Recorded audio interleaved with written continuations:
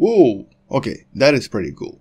Hello wonderful person, this is Anton, and today we're going to be talking about what seems to be the most accurate, the most detailed, and actually one of the coolest maps I've seen in quite a while.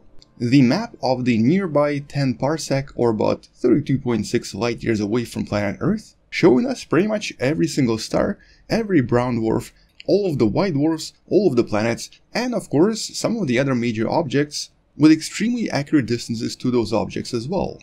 A map that was a part of this paper right here that was recently published by these European scientists.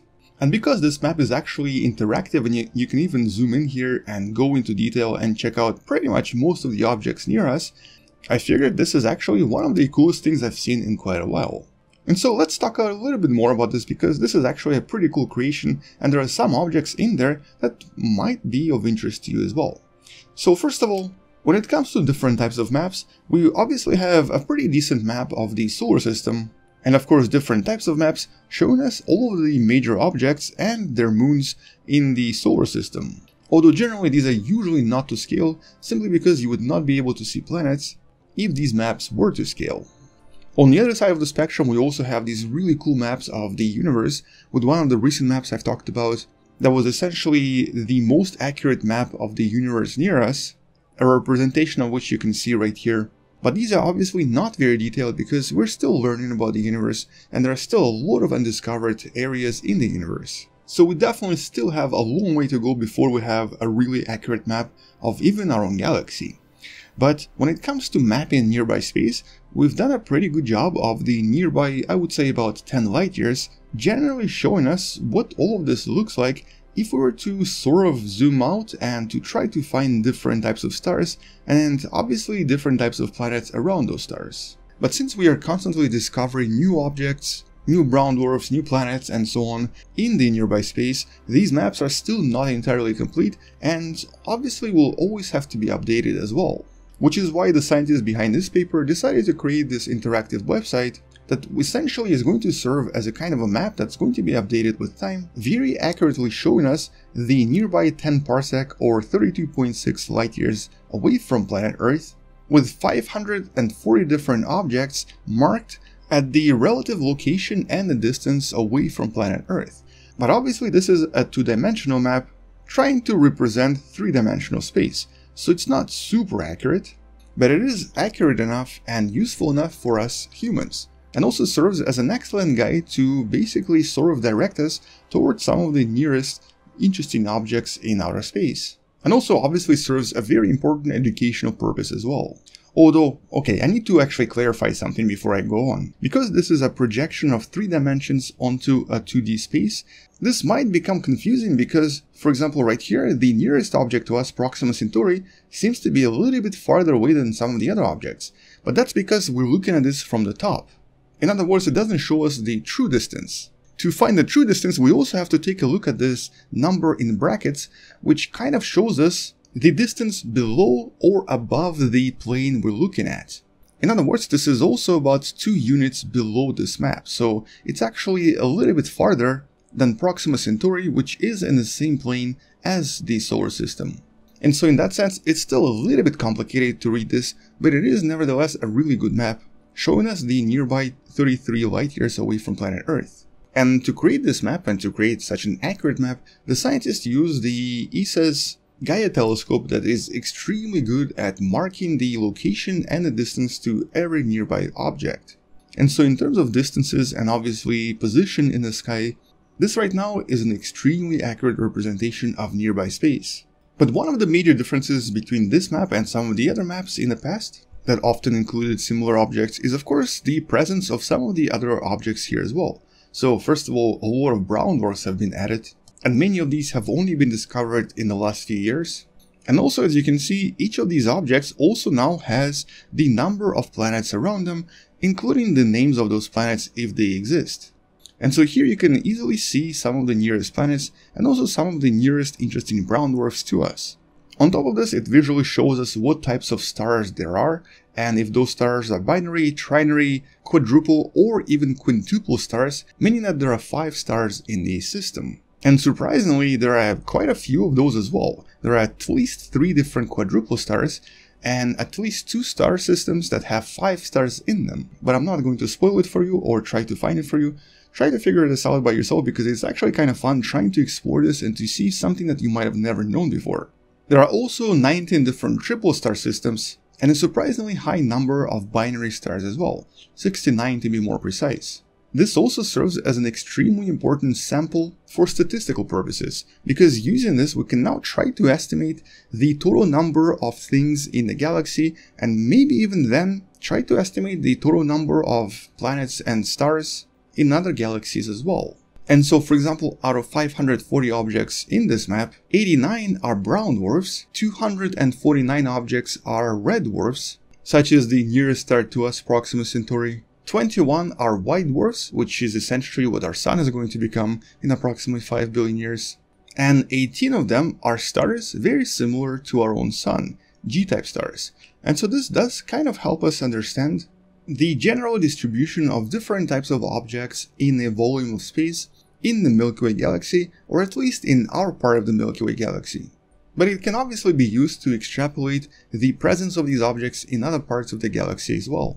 But in this paper, scientists do mention that we're probably going to be discovering a lot more brown dwarfs in the next few years, mostly because they're kind of difficult to see. We also might find some other faint objects, such as rogue planets, and definitely find a lot of exoplanets as well.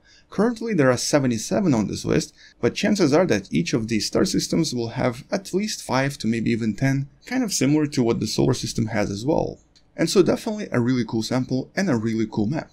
And if you get to look at this yourself, and also if you get to explore this in your free time, you might discover some really cool objects that you've never known about before. So for example, in one of the previous videos, I've already mentioned these uh, so-called local clouds.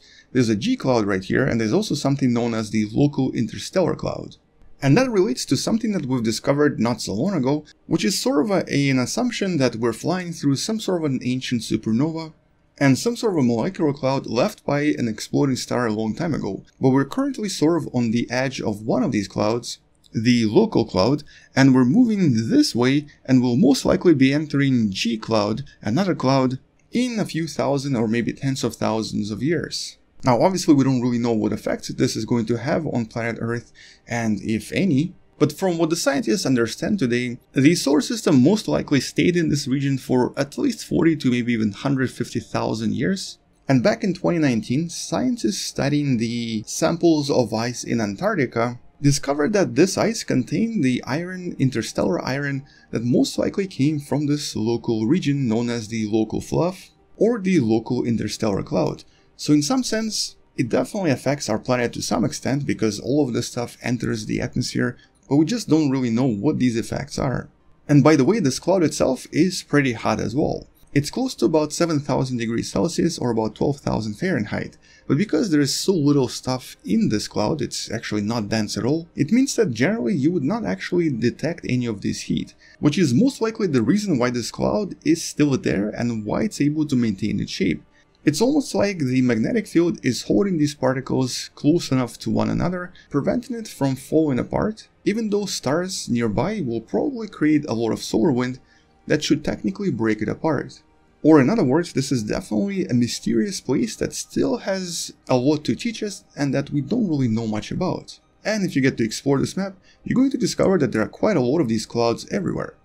And then you might also discover something that looks like this these two red circles known as the Stromgren spheres, which when very energized sort of look like this.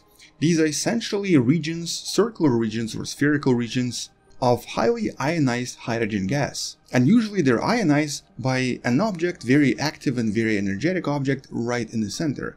Typically this is an O or B type star, which is definitely the case for this object known as the Rosette Nebula, but it can also be created by other objects. In this case, this large one is created by the star known as Sirius B, which is right there. And that's of course a white dwarf. The smaller one that you see right here is created by another star, which happens to be also a white dwarf. And that's generally speaking because Sirius B is a pretty massive white dwarf with a lot of emissions coming from it in frequencies of light that are generally ionizing, including ultraviolet light and the X-ray emissions that you see right here. And so the hydrogen that was already present here, most likely from some of these clouds I mentioned before, basically gets ionized and creates this um, somewhat visible formation around it. Although it wouldn't really be that easily visible and it does require specialized equipment to try to discover it. But for some of the more active objects, it's definitely visible as long as you have some sort of a telescope.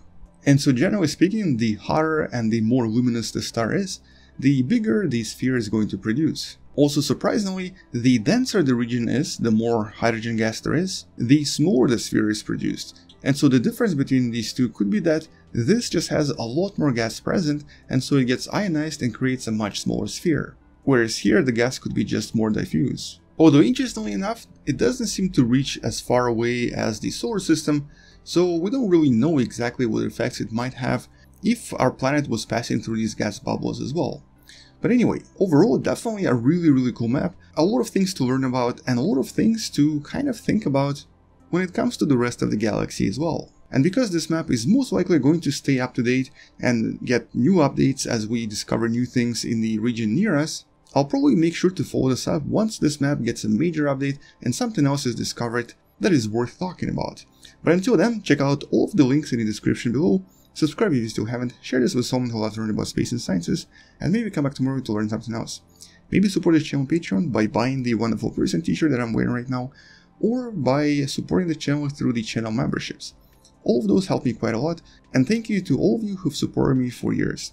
But anyway, thank you for watching, stay wonderful, I'll see you tomorrow, and as always, bye bye.